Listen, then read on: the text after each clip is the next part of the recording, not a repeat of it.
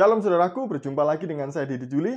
Kali ini saya mau meluruskan lagi seorang mualaf dari Kalimantan yang mengatakan bahwa salah satu alasan dia masuk Islam karena menemukan satu kata di dalam Bible, yaitu kata mat atau Ahmad. Nah, benarkah demikian? Saya mau skakmat nih mualaf yang satu ini karena sembarangan mengutip-ngutip ayat Alkitab dan menasfirkannya seenaknya sendiri. Mari kita simak videonya bersama-sama. Banyak orang yang menemukan kebenaran tapi dia tidak bisa memahami itu.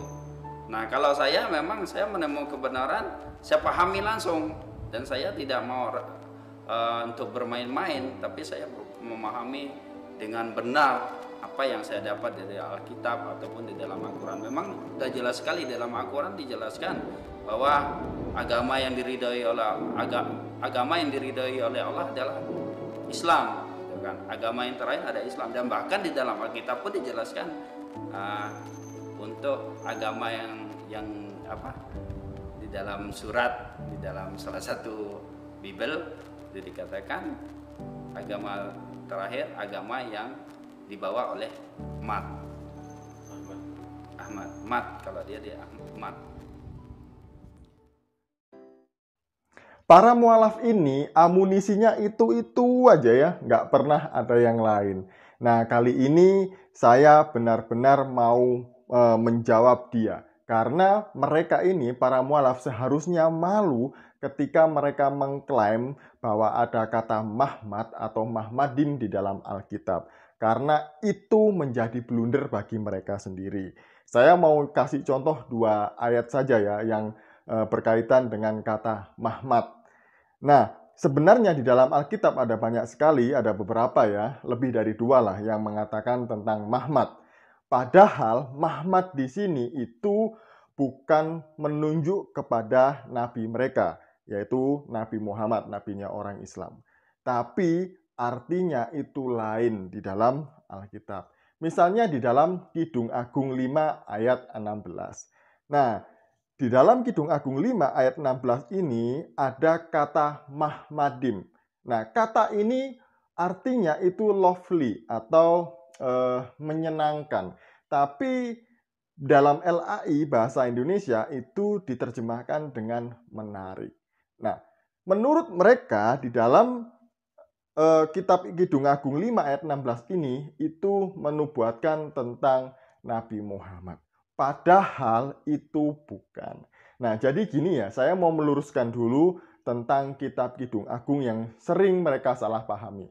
Padahal mereka selain eh, sering mengolok-olok, mengejek bahwa kitab Kidung Agung ini adalah kitab yang porno, kitab yang senonoh, kitab yang eh, amoral gitu, yang tidak seharusnya ada di dalam Alkitab. Masa firman Tuhan seperti ini?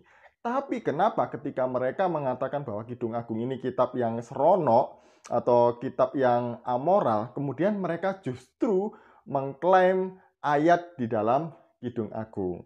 Nah, sebenarnya mereka ini tidak konsisten ya dalam hal ini.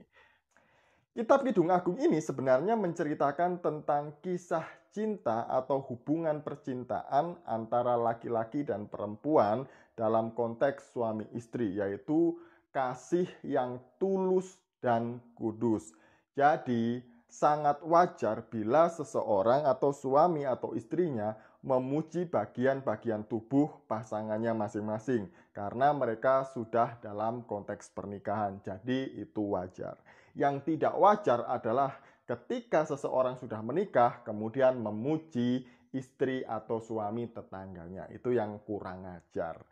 Nah, Kidung Agung itu menceritakan tentang itu ya. Jadi konteksnya adalah kisah cinta yang tulus dan kudus dalam hubungan seorang laki-laki dan perempuan dalam konteks pernikahan. Nah, Kidung Agung ini juga dipakai untuk menggambarkan antara Allah atau hubungan Allah dengan manusia karena kasih Allah kepada manusia itu tulus dan kudus. Nah, itu yang seharusnya dilakukan oleh suami dan istri. Makanya kisah-kisahnya itu seperti itu. Jadi suami memuji istri, istri memuji suami. Seperti yang ditulis di dalam Kidung Agung pasal 5 ini. Nah, Kidung Agung pasal 5 ayat 16 itu konteksnya adalah pengantin perempuan memuji pengantin laki-laki, yaitu laki-laki di sini itu yang dimaksudkan adalah Salomo. Jadi ayat ini yang mengatakan tentang uh, Mahmadim atau yang menarik atau yang menyenangkan itu tadi ini adalah Salomo. Jadi kalau yang mereka katakan tadi ini untuk Muhammad itu salah besar itu sangat eh, apa namanya cocokmologi dan comotologi ngawur gitu ya. Jadi kalau mereka tadi mengatakan bahwa Kidung Agung ini kitab porno, berarti seharusnya mereka malu mengutip ayat ini karena di situ ayat ini adalah porno seperti itu ya. Yang kedua, saya mau mengutip di dalam Yesaya 64 ayat 11. Di sana juga ada kata Mahmad Dienu dari kata dasar Mahmad. Nah, kata Mahmad Dienu ini artinya adalah my precious thing atau milikku yang paling berharga. Nah, di dalam LAI bahasa Indonesia itu diterjemahkan dengan uh, yang paling indah. Jadi di sini kata Mahmad Denu itu diterjemahkan dengan milikku yang paling indah. Nah, konteks di dalam Yesaya 64 ayat 11 itu adalah nubuatan Nabi Yesaya ketika orang-orang Israel berada di dalam pembuangan yaitu Babel.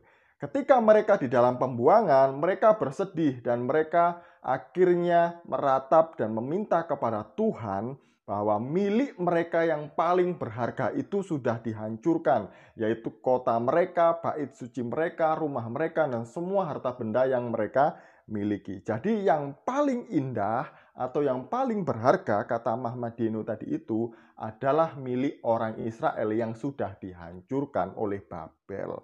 Nah, ayat 12 ini menarik karena Yesaya meminta supaya Tuhan memulihkan Yerusalem supaya tidak menjadi sunyi sepi lagi. Jadi kalau mereka mengutip kata ini Mahmadim ini sebagai nabinya mereka, berarti nabi mereka sudah dihancurkan dong karena milik mereka yang paling berharga di dalam Yesaya 64 ini tadi sudah dihancurkan oleh Babel. Nah, ini kenapa saya mengatakan bahwa ini adalah blunder bagi mereka dan seharusnya mereka malu ketika mereka mengutip atau mencocok-cocokkan kata Mahmad dengan nabi mereka. Ibaratnya ini kata Pak Bambang Nursena seperti orang yang mencocokkan nama Naruto dengan Naruto. Naruto ini adalah tetangga saya, sedangkan Naruto adalah kisah fiksi film kartun dari Jepang. Sekilas mirip, tapi nggak nyambung atau nggak cocok dan nggak mirip sama sekali atau nggak sama orangnya. Jadi itu ya, ini jawaban dari saya. Semoga ini mencerahkan kita semuanya dan menambah wawasan kita tentang kebenaran firman Tuhan. Shalom, salam waras, Tuhan Yesus memberkati kita semuanya.